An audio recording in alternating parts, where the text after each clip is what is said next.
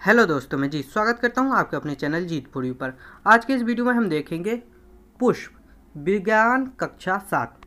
कक्षा सात की विज्ञान को अब इस वीडियो में सॉल्यूशन करने वाले हैं, जो कि होगा पेज नंबर सिक्सटी एट से सेवेंटी तक।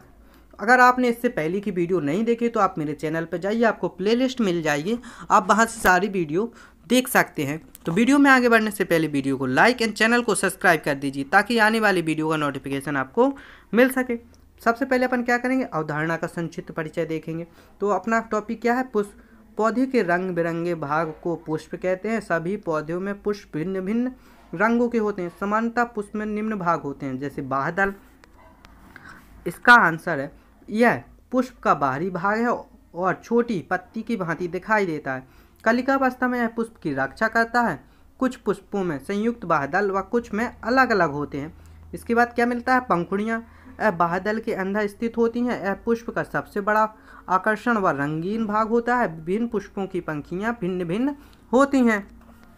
इसके बाद आठ, चार सौ चार सौ चार सौ। जी हाँ याद कर लीजिए व्हाट्सएप नंबर, क्योंकि अब चाहे आपका मैथ का सवाल हो या फिजिक्स, केमिस्ट्री, बायोलॉजी, आपके हर डाउट, हर क्वेश्चन का मिलेगा तुरंत वीडियो सॉल्यूशन वो भी सीधा आपके व्हाट्सएप पर। बस अपने फ़ोन में डाउट नट का आठ, चार सौ चार सौ व्हाट्सएप नंबर सेव कर लीजिए और चैट ओपन कीजिए। और जो भी आपका डाउट है, उस सवाल की आपको फ़ोटो खींचना है, उसे क्रॉप करना है और पाँच सेकेंड में आपको मिलेगा video solution class six to twelfth I I T JEE NEET और सीबीएसई बोर्ड और सभी स्टेट बोर्ड के बच्चों के लिए। तो देर किस बात की? अभी जाइए और आठ चार सौ चार सौ पर अपना सवाल व्हाट्सएप कीजिए और अपने सभी डाउट को आउट कीजिए। लिंक डिस्क्रिप्शन में। आगे देखेंगे। पुंकेसर यह पुष्प के नर जननांग को निरूपित करता है विभिन्न पुष्पों में। पुंकेसर की संख्या अलग अलग होती है। पुंकेसर तंतु एवं परागकोश दो भागों से मिलकर बना होता है। स्त्री केसर पुष्प के केंद्र में स्थित भाग को स्त्री केसर कहते हैं। यह पुष्प का मादा जननांग है। पुंकेसर को हटाने के बाद इसे पूरी तरह से देख ले सकते हैं। स्त्री केसर का सबसे निचला एवं फूला भाग अंडाशय होता है। इसके बाद आगे क्या है? पुष्प का मुख्य कार्य प्रजनन व बीज द्वारा निर्माण करना है। विभिन्न पुष्पों में गंध भिन्न भिन्न होती है। इसके बाद देखिए अपन वर्कशीट का सॉल्व करेंगे। अपना वर्कशीट का क्वेश्चन है, पुष्प के विभिन्न भागों के नाम लिखे, जैसे बाह दल, पंखुड़ियाँ, पुंकेसर, स्त्री केसर। पढ़ने अभी देखें। अगर आप इसका विस्तृत अध्ययन करना चाहते हैं तो कक्षा छः के अध्याय सात को अपन पढ़ सकते हैं। विज्ञान कक्षा छः के अध्याय सात को। आगे देखेंगे, अगला क्वेश्चन है, पुष्प के किस भाग में अंडाशय मिलता है? पुष्प के स्त्री केसर वाले भाग में अंडाशय मिलता है। अगला क्वेश्चन देखेंगे पुष्प का सबसे आकर्षण व रंगीन भाग कौन सा होता है? पंखुड़ियाँ, पुष्प का आकर्षण व रंगीन भाग होती हैं। यहाँ पर देखिए, पुष्प का नामांकित चित्त बनाइए। तो यहाँ पर पुष्प का नामांकित चित्त बनाइए ये तना हो गया, ए वाले बाहदल हो गए, ए अपनी पंखुड़ी हो गई।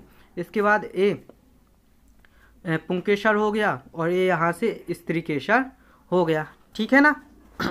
तो अपन बना लेंगे ऐसा। और आप इससे अच्छा बन जाता है तो आप इससे अच्छा बना लेंगे। इसके बाद देखिए, पुष्प का मुख्य कार्य क्या है? पुष्प का मुख्य कार्य प्रजनन द्वारा बीज का निर्माण करना है। आपने बिल्कुल अभी देखा था। इसके बाद देखिए, प्रोजेक्ट कार्य अपना। अपने आसपास के कुछ पुष्पों का अध्ययन करें। निम्न सारणी में पूर्ण कीजिए। तो निम्न सारणी में अपन को पूर्ण करना है क्या? जैसे कि पौधे का नाम बाहदलों की संख्या, पंखुड़ियों का व उनकी संख्या, पंखुड़ी जुड़ी हैं या स्वतंत्र हैं पुंकेसरों की संख्या। तो ये सब अपन को लिखना है, जैसे गुड़हल, गुलाब, पीली कनेर, मोगरा एंड गेंदा। तो ये सभी अपन इसको देखकर लिख लेंगे। ठीक है, और रंग लिख देंगे, कैसा है, कितनी पंखुड़ियाँ हैं और क्या कैसा है। ठीक है ना? तो आप लिख लीजिए। इसके बाद अपन आगे चलेंगे। तो आगे क्या मिलता है अपन को? स्व आकलन स्व आकलन का पहला क्वेश्चन है, पुष्प का बाहरी भाग, बाहदल। विभिन्न पुष्पों में पुंकेसरों की संख्या अलग अलग होती है। स्त्री केसर सबसे निचला व फूला भाग अंडाशय होता है। ऐसा होता है अंडाशय, जिसको अपन ओवरी बोलते हैं इंग्लिश में। इसके बाद पुष्प का मुख्य कार्य प्रजनन द्वारा बीज का निर्माण होता है। ठीक है? ऐसे ही अपन आगे चलेंगे। तो किसी पुष्प का सुंदर चित्र बनाकर उसके विभिन्न भागों का वर्णन करें। तो आपको यहाँ पर भी पुष्प का चित्र बनाना है। तो जैसे यहाँ पर पुष्प का चित्र दिया गया, जैसे बढ़ती काग, पंखुड़ियाँ, बाहदल ये अपन तना भी लिख सकते हैं और भी कुछ लिख सकते हैं, ठीक है? तो अपन ने देखा, अगला है अपना, ऐसे दो पुष्पों के नाम लिखिए जिनमें से प्रत्येक में संयुक्त और अलग अलग बादल हों, जैसे गुड़हल एंड गुलाब तो ये अपना हो गया। आगे जैसे चलते हैं अपन क्या सभी पुष्प की गंध समान होती है? नहीं, सभी पुष्प की गंध समान नहीं होती है। सभी पुष्प की गंध अलग अलग होती है।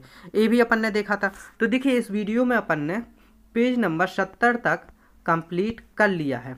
अगली वीडियो में अपन देखेंगे पेज नंबर सेवेंटी वन से। ठीक है तो इस क्या करना है आपको? इस वीडियो को ज़्यादा से ज़्यादा शेयर करना ताकि सभी दोस्तों की मदद हो सके। वीडियो को लाइक एंड चैनल को सब्सक्राइब करना। है मिलते हैं अगली वीडियो में। तब तक के लिए धन्यवाद।